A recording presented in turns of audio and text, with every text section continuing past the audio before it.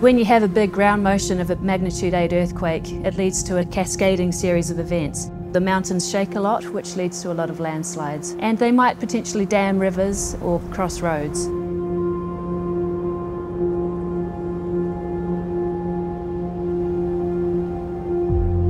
Based on the science scenario, we have ground motions beginning in Milford Sound and rolling out right along the South Island and uh, a surface rupture on the Alpine Fault, in other words where the fault breaks right through to the surface of about 350 to 400 kilometres.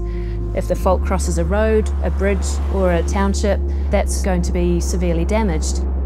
Movement across that surface rupture will be something like 10 metres horizontally and maybe up to 2 or 3 metres vertically as well.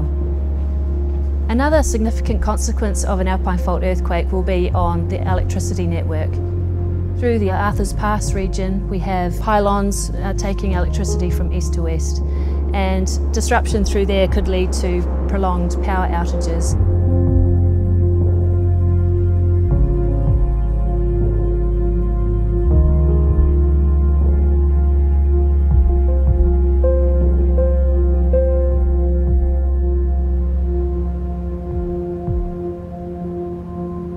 Here at Arthurs Pass, we're right in the middle of the Alpine Fault Zone. We'll be badly affected. The big threat here is more being blocked off, perhaps the rivers being dammed and possibly flooding the place.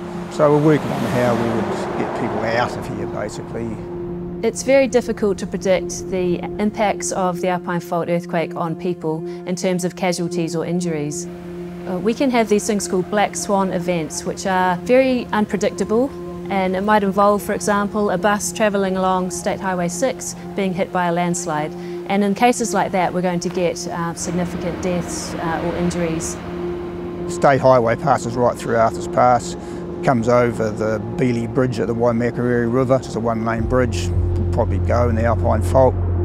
We have a lot of traffic come through, and especially trucks and so on. But as well as that, we've got the tunnel and the, the railway line, so that's a big issue as well in terms of how that will hold up and it probably won't. I think we know the risk, but we love the place, so we've just got to make sure that we can be prepared. The outcomes of this earthquake are going to be felt right across the South Island, and in fact, everyone in New Zealand is likely to feel this earthquake. Some of those indirect consequences, of course, like power outages, will be felt very widely across the whole South Island.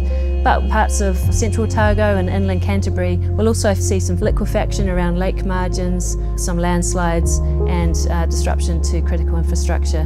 So it's not just a west coast earthquake, this is going to affect uh, most of the South Island in some way.